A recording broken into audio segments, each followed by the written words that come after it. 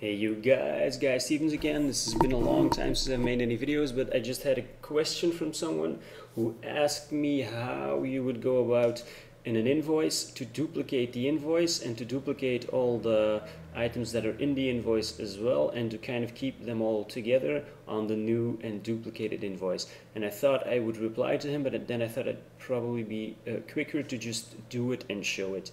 Um, so I, I have this invoicing database that I've done a little while ago. And if you go to file manage database you can see it's extremely simple. And this was just like probably also a simple example I made for someone. And it just uh, it has a client table that is related to the invoice table. And the invoice has just an ID, a date and a client ID then that invoice has line items related to it using the invoice ID FK field this has products on it from a product table and it just has the amount, the price, lookup and the total. So it's very simple, very basic. But what would you, how would you make a duplicate of this invoice but keep all the items on that new invoice as well? Um, you would, for instance, make a button that says duplicate, oops, do invoice. Okay, now what would, how would this button work? Now, it's a bit tricky because you've got an invoice and you can very simply just um, duplicate a record by going to here, uh, but then you will have a new record but nothing in it. So what you need to do is now that you've got a new invoice, you will also need to duplicate the records that are in there.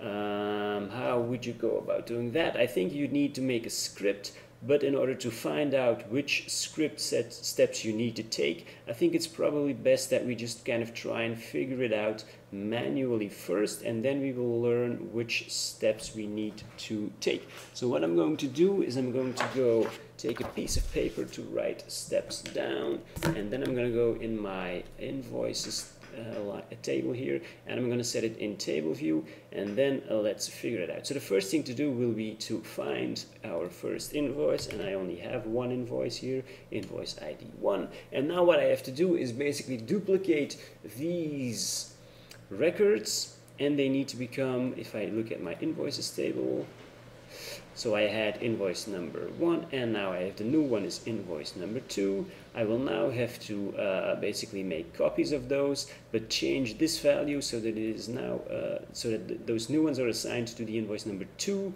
and not to invoice number one. So what do I do?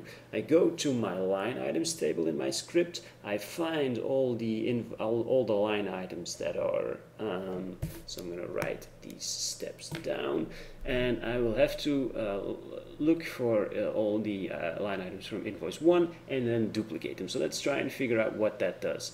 I will be on my first record here. What happens if I go record, duplicate record?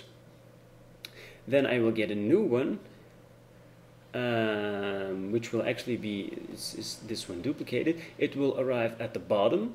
So I will then have to set the invoice ID to 2. Okay.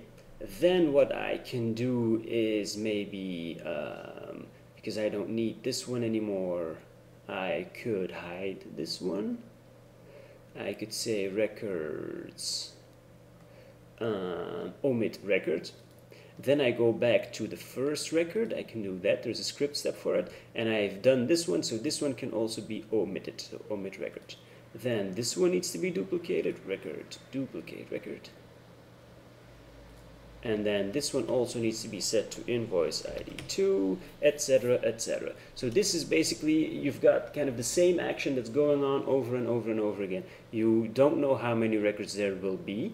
So you have to make sure that that can be variable. And then you've got these steps of duplicating the first one, then omitting that one, omitting that one, then going, then you will go back to the first one and omit that one as well because that one is done.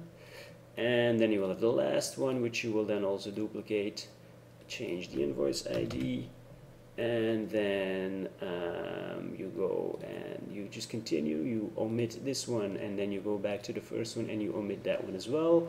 And when all the records are gone I had three in the beginning now I have six.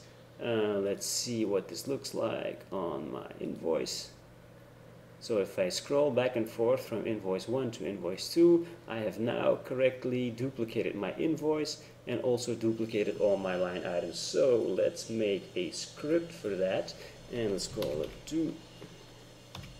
duplicate invoice. Now this, I do have to tell you, this is the very easy way to do it.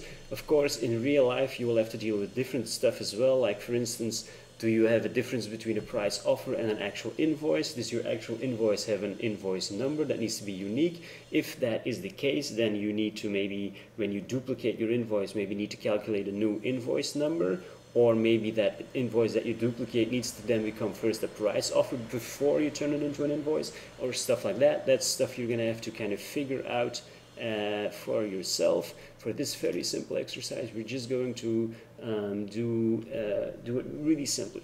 So what do we need? Um, we've got one invoice and we're going to make a second one. So we're definitely going to have to duplicate um, our invoice.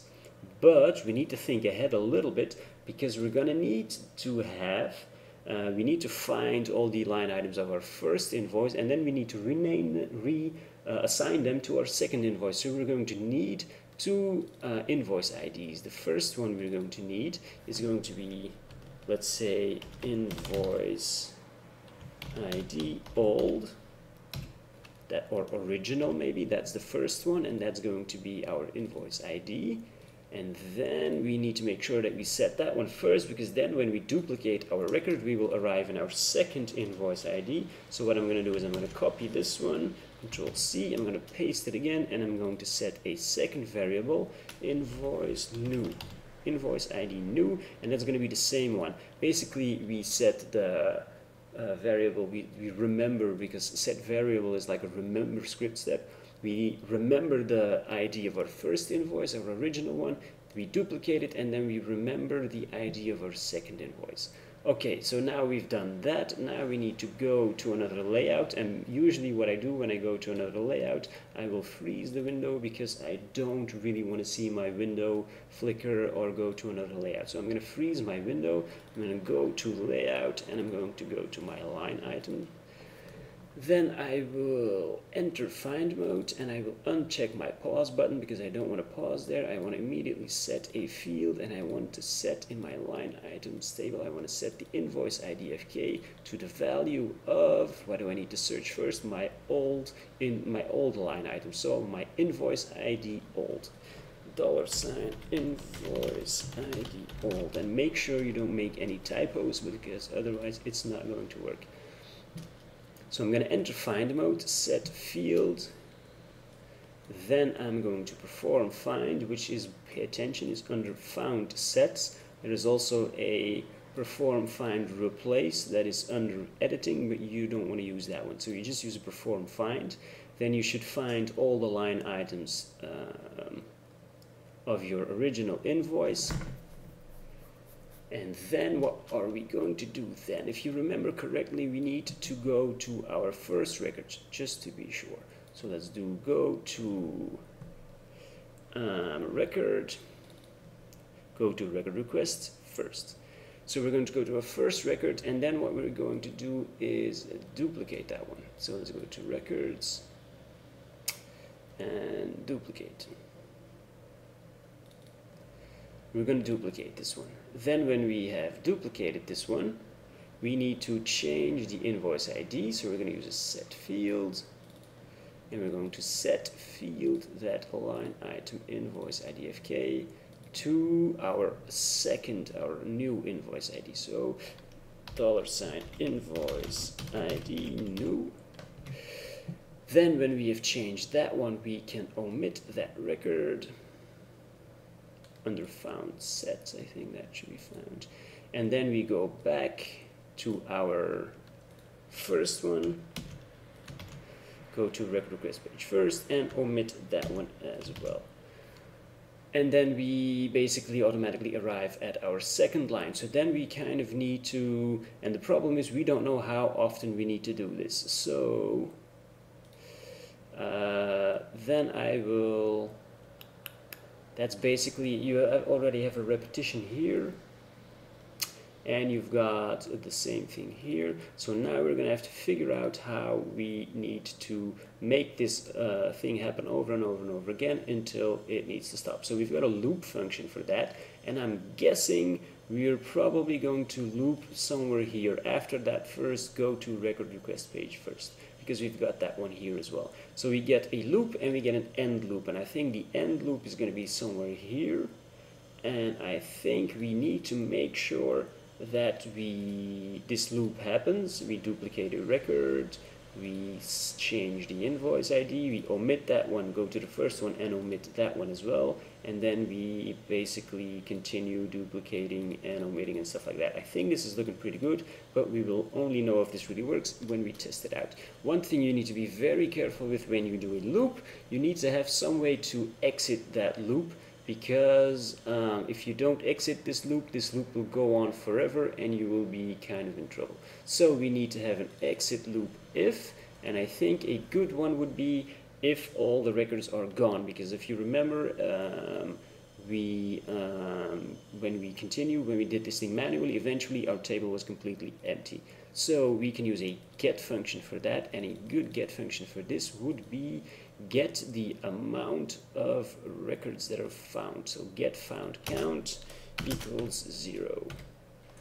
Exit loop if get found count equals zero. And then we exit our loop. Then we will be in the line items table that will be completely empty. So we, we want what we want to do then is go back to our original layout. Um, looks kind of good to me. I think we need to try this one out. So we need to save this one, Control S, and then what we can do is either just go for it and try it, or if you really, really want to see what's going on and you have FileMaker Advanced, you can use the script debugger and the data viewer. Uh, I think I had not yet assigned the script to this button, so let's go to button setup, perform script, specify duplicate invoices, and let's just go for it and see what this one does, right? So now we have invoice number two, and let's just go for it. And we've got our script that starts to run here, but when we have our script debugger open, the script always stops and it allows you to kind of step through it one by one. So will I perform this script? Yes, I do. I want to step into this script. Then what happens? I've got my set variable invoice old. So in my data viewer, I can now see what's happening with my data. So my invoice ID is um, now 2 and so my invoice old variable also has the value 2 then we're going to duplicate this record request. And when we step you can look here. Our invoice ID is just changed to 3 this is here is empty so we've just duplicated our record. Now this invoice ID is 3 so the set variable invoice ID new will be making a new variable and it will contain the number 3. So now we've got our old and our new invoice IDs. That's good. Freeze window is not really going to do anything here because we can keep on looking at what's going on. We go to our other um, our other layout, we enter find mode, we set our field invoice ID to our old invoice ID, we perform our find and then we find three records all for invoice number two. That's all looking good. And then we start our loop. Now this is exciting. Let's see what's going to happen. We duplicate our record. We're in the first one so that's good because we went there here. So we duplicate. Yes that's looking good. We have a set field. That changes our field here we omit this one, we go to the first one, we omit that one, and then we exit our loop if our found count is 0, but our found count is 2, so we should continue in our loop, yes.